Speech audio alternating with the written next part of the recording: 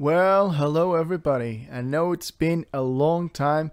I am very sorry if anybody was very confused about why I was not putting videos. Uh, with this crisis thing, I've been actually working more than ever. And as you can imagine, after eight hours of just pounding my head through Clo, the last thing I want to do is, uh, you know, spend more time with Clo because these videos actually take me a lot of time. I'm not uh, one of those experts that do them that quickly. So, um, but today I figured I wanted to show something uh, to everybody because I discovered something just today while I was giving class. So it's not a continuation of the series. It's going to be more like a tip uh, on sequin actually, uh, because the, making sequins in Clo is not an easy task. And so I decided to show you what I discovered today to make very cool and, you know, quote, quote, easy to do sequins that look actually great in Clo. Uh, because let's consider the possibilities. Possibility number one, or the option number one, is to model the sequins, like a 3D shape, and put them in Clo one by one by hand, which is obviously impossible. Maybe it's okay if the graphic is supposed to be small, but of course it's not viable if your graphic is supposed to be gigantic. Uh, the other possibility is what Clo actually suggests is, that you use the top stitch tool to create that. The only problem being that if there's overlapping uh, of uh, sequins, which you often have, uh, you are going to have problems with that. And also the top stitching sometimes tends to bend or uh, deform the shape of whatever you are trying to use as a top stitch. and also when you're using the top stitch tool, you cannot uh, have 3D objects being duplicated. You know, in the top stitch tool, you have the option to create 3D top stitch and also flat top stitch. And when you create custom top stitches with your own shapes, they have to be flat. They have to be images. So I'm proposing a third option that I think uh, I really like, and it all starts in Photoshop. Step number one is going to be we're going to create a new brush that's going to look like a sequin, Okay, I'm pretty sure there's uh, many Photoshop wizards that are going to do this much better than I can because I'm not an expert in Photoshop. So I created this canvas. It's uh, only 512 by 512 in pixels. uh, so it's a simple one and it's white as you can see. And I'm going to paint with a very simple brush a large circle, a black circle in the middle. So in order to know where the middle is, I'm going to click and drag from the, oh, sorry, I don't know why that didn't work. So click and drag from the ruler to the center until it snaps. And now I can see where the circle is. It's going to be more a guideline, but yeah. Uh, then I'm going to activate the brush and I'm going to paint uh, black, a very big black circle, which is going to be uh, my sequin. As you can see, I have so many tests uh, there already. So I'm going to change the size to something appropriate. Uh, the resolution of the canvas is going to determine the resolution of your brush. Okay, so if you find this resolution to be too low, uh, only make the canvas bigger. So I'm going to click there and I have this giant dark uh, spot in the middle. Now I'm going to press on my keyboard X to bring white so I can paint a circle in the middle, which is where the sequin it's supposed to be sewn from. So thanks to these rulers, it's very easy for me to click there and get this white spot. Something I've been also experimenting is to making uh, like a little detail to mimic where the uh, thread would be uh, with black. Uh, something completely optional. It's uh, such a tiny detail that I don't even think you will be able to see it, but uh, there you have it. it had to be. It has to be black and white because the brushes in Photoshop they work like this. So black it's everything that's going to be opaque, and white is everything that's going to be transparent. So with this done, I will go to edit and then I will, I know it's in Spanish, but just look in your Photoshop and you should go to edit and then you should go where it says define uh, as brush. So click there and now you have, uh, you can rename your brush. So let's name it something like um, Sequin brush, um, I don't know, zero one. Okay. Now it's defined as a brush. You can see that if I create a new layer in Photoshop, and I make maybe my brush a little bit smaller. If I paint, I will be painting this very simple, um, very simple sequin. But this is not enough. Uh, that's not going to give you the result that you want. The result that you want, uh, it's a more dynamic, uh, more dynamic looking sequins. That is, sequins that have actually a direction to them, so that when a sequin faces the light, it shines, and if it's not facing the light, it doesn't.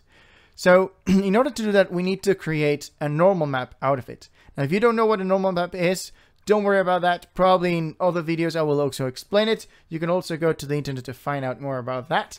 But a normal map is basically an image that uses RGB colors to store directional information. That is, if it's, uh, you know, the color is more towards purple, it means that it's looking towards the left. If the color deviates towards green, it means that it's looking towards the, I don't know, up. And if the color goes towards red, it means that it's looking up. Okay, so three colors, RGB, store information. Painting that by hand, it's actually very difficult. But what we can do is ask Photoshop to paint each and every sequin with a different shade of this normal map range, which I will show you in a minute, so that each and every sequin has its own personal shade. That's going to make it so that when you put this in Clo, that normal map is going to ask Clo to shade every sequin in a slight different angle, making it look as it's a bunch of sequins and all of them are looking in different directions. Okay, so how do we do that? Well, we have already created the brush. You can see that now if I click and drag, it's just a continuous line. But in Photoshop, you can open the Photoshop, sorry, the brush, uh, the brush options, and we can make a couple of changes here. The first one being uh, how many strokes do we want. So if you go to shape of the brush, we have here spacing. So if you turn it on, you can actually adjust this slider to have you know, less sequins or more sequins, which is actually great. So if you want some overlap, you can have them overlap like this. Next thing, we're going to change the, the color of them. So for that, we are going to go to dynamics of color. So color dynamics, just click on there. Uh, it's going to turn it on by default. And then what we have to do is we have to turn on this first option, which is going to make it so that every instance of the brush will have a variation only in hue. Okay, we want the hue to vary. I'm gonna I'm gonna give you now the base color you want, and then every time a new instance of the brush is created, the hue will vary, and you want a 10%. I don't recommend going above 10%. You can always exaggerate the normal map inside Clo, so a 10% variation will be fine. So you can leave the rest as is. We only need the hue to vary towards red or towards blue. Again, three tones. We don't need anything else. And that's going to be enough to create the illusion of the sequins. All right, so now that this is done, let's put a couple of numbers here for the correct RGB. Uh, you cannot usually, you cannot use any color that you want, actually. Normal maps don't work like that. So we need to have a base color. So the base, uh, the base color we're going to use is 132 on the red, 147 on the green, and 252, 53, sorry, on the blue. You can see that it's a very, um, I don't know, it's a very curious shade of uh, purple blue-ish. And so when the hue varies, it's going to vary between uh, the, the RGB. So now, if you test and paint, you will see that every sequin has a different shade of blue. You see that some of them deviate towards the red and so they get more purple, purple. Some of them deviate towards the green so they get more light. We're missing a little bit of 3Dness, but that's going to give you enough variation. Okay, so now let's put this to the test. You actually don't need to do anything else. The only thing that you would vary would be to go to the, uh, the general settings and change the spacing of your sequins, depending on how far away you want them to be. So in the same canvas, because it's uh, enough for me, I'm going to actually make a very quick test. So for example, if I start painting while holding shift, I can make very straight lines and you can see that I get a very nice overlap and you can distinguish every sequin very clearly because each and every one has its own shade. Uh, some of them will coincide, of course, but um, you get a very clear sense that they each in every sequin it's its own individual element. So this is going to be our normal map. Now, uh, before moving on to Clo, because this is uh, already a good enough example, I'm going to save uh, this brush so that I can use it in future projects. So to save the brush, uh, it's as simple as going to the where we changed everything and clicking on this thing. Uh, if you click on this option, you can save the brush so you can put it a name. So second brush, in my case, 2, and turn on all the options because you want to capture the size, you want to capture also the adjustments that we have just made, uh, the hue variation and all that. And also, uh, you want to include this base color that I just gave you. So just click on that. You will have saved your uh, brush. So we're going to save this image as a PNG to preserve the transparency of the image. Now don't worry about the colors because in Clo you can always desaturate this image to get rid of every trace, any trace of color and we can recolor it later on. So we are only interested in this normal map. Now I suggest you save this with a name that you can tell that it's uh, the normal map. So maybe underscore it as, I don't know, graphic underscore normal. So you can locate it very easily. Now let's jump into Clo and see how everything is going to look like.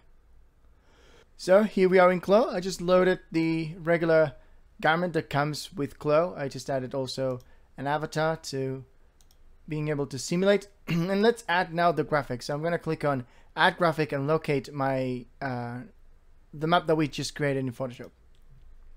There it is. It's very tiny, so I'm going to make it bigger. Uh, usually I don't recommend changing the size of the graphic inside Clo, but since we use the same canvas that we used to create the brush, uh, it's very small, so, you know, it's just a test, so I'm going to make it bigger like so, so we can see. Maybe that was too big. All right, now I'm going to take the color out uh, just so we can see a plain image that's not going to be very attractive, but we will see how it changes when we add normal map. So I will activate the high quality rendering and then in texture, I'm going to click on the saturate to take the color out. Uh, sometimes or usually what I do to make sure that this is pure white so that any color that I add gets uh, multiplied correctly, I always lower the shadow intensity to minus 50 and I bump up the uh, brightness all the way to 1 to ensure that it's complete white. This way, even if I add any strange color, it will be multiplied correctly. I'm not going to do that now because I'm going to change this to metallic. And this is what I should have. As you can see, nothing that looks very attractive, but let's now bring in the normal map and we shall see what effect this will have. And there you have it. Thanks to this normal map, every sequin has its own directionality.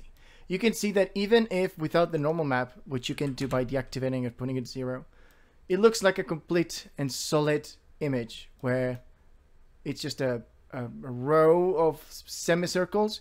When you add the effect of the normal map, every sequin, it's perfectly visible and you can see that they behave correctly. You can see that every sequin is looking in a different direction, thus when you rotate, some of them sparkle, some of them don't, depending if they are looking towards the light or not. You can also see that in this row that we just created, uh, the sequins just follow the line, yet all of them are completely visible.